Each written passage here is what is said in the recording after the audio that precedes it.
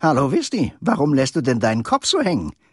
Ich habe die beste Software und es will mir keine Visualisierung gelingen. Daran liegt es sicher nicht. Lass mich dir helfen. Die fünf goldenen Regeln für gelungene Visualisierungen. Das ist eine Villa, die in Berlin entstehen soll. Mit diesem Beispiel erstellen wir nun eine fotorealistische Visualisierung. Dazu importieren wir zunächst das modellierte 3D-Modell aus dem CAD-Programm in unsere Visualisierungssoftware und starten das erste Rendering. Betrachten wir an diesem Rendering die Regeln für eine gute Visualisierung mal genauer. Am Anfang steht die Regel der Bildkomposition, die auch unter dem Namen Regel vom harmonischen Bildaufbau bekannt ist. Sie ist eine einfache Umsetzung unserer Sehgewohnheiten. Wenn wir zum Beispiel mit anderen Menschen kommunizieren, sehen wir diesen immer in die Augen.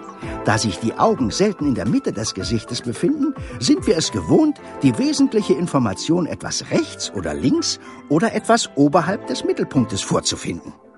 Diese Punkte nennen wir Drittelspunkte. Für unsere Visualisierung bedeutet diese Regel, dass wir die wichtigste Ansichtskante der Villa auf eine Drittelslinie legen. So einfach gelingen angenehme Bildproportionen. Als nächstes die Regel der richtigen Augenhöhe. Zurzeit schwebt der Betrachter noch in der Luft, was nicht gerade den natürlichen Sehgewohnheiten eines Menschen entspricht und so für Verwirrung und Unbehagen beim Betrachter sorgt. Wir müssen also unserem Beobachter mehr Bodenhaftung verschaffen. Siehst du, wie sich die Visualisierung zum Positiven verändert? Nun haben wir neben der Bildkomposition im Drittelspunkt auch die richtige Höhe der Kamera eingestellt. Was noch stört, sind die stürzenden Linien. Was sind denn stürzende Linien? Mit stürzenden Linien sind alle Kanten und Ecken gemeint, die normalerweise senkrecht zum Boden verlaufen, jedoch in einem Bild wie unserem dies optisch nicht tun. Siehst du, wie sie aufeinander zulaufen? Stimmt. Die Linien treffen sich, wenn man sie verlängert.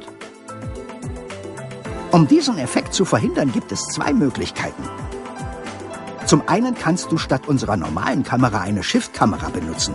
Falls du keine Shift-Kamera hast, dann reicht es auch, die Kamera so lange nach unten zu kippen, bis die Linien parallel zum Rand der Visualisierung sind.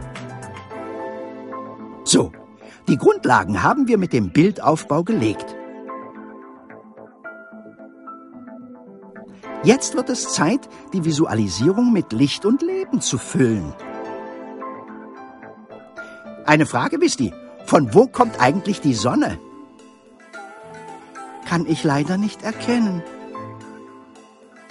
Genau. Wir müssen uns zunächst entscheiden, welche Fassaden mit Sonne und welche Fassaden mit Schatten modelliert werden. Natürlich ist die dem Betrachter zugewandte Fassade die wichtigste. Wir stellen die Tageszeit in unserem Visualisierungsprogramm so ein, dass die uns so wichtige Hauptfassade gut belichtet wird, ohne die Nebenfassade zu stark zu verschatten. Da du nicht willst, dass deine Visualisierung wie in einer Geisterstadt im Wilden Westen aussieht, sorgen wir jetzt für etwas Leben.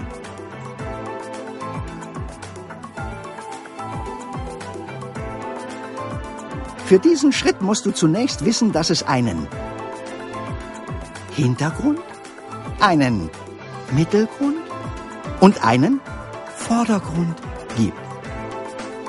Unsere Wahrnehmung ist vielschichtig. Fügen wir also zunächst in den Hintergrund einige Bäume, in die unsere Villa optisch eingebettet wird. Ein PKW verstärkt den Mittelgrund und dient dem Kontrast zur Villa. Die Äste im Vordergrund runden den Gesamteindruck einer bildlichen Tiefe ab. Abschließend vervollständigen wir die Szene mit einem Bildbearbeitungsprogramm und fügen Menschen, die wir aus Fotos ausgeschnitten haben, in die Visualisierung ein. Jetzt wirkt alles schon viel lebendiger.